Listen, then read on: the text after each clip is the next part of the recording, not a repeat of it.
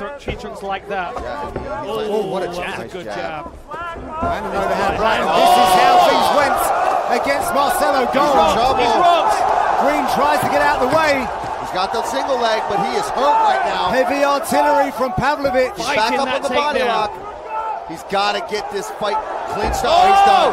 Pavlovich raining down the blows. He gets pulled off.